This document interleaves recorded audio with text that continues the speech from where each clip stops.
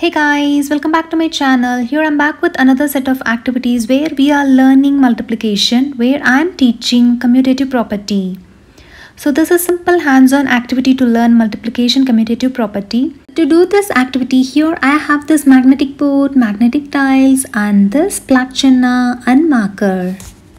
I'm going to explain multiplication commutative property to my child in a fun way that you can multiply the factor in any order and the product will be same. So here I am taking the number 3 and 4. So what is 3 cross 4? And 4 cross 3.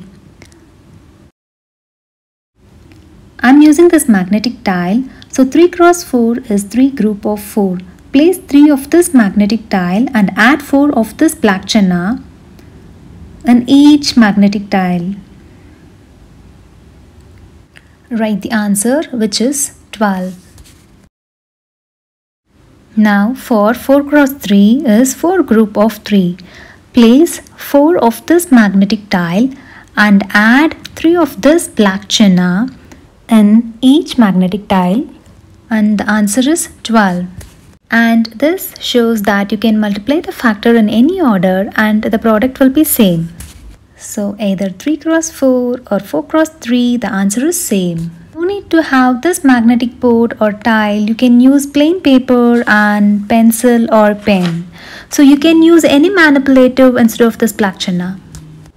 So here is my little one doing this activity with number 2 and 5.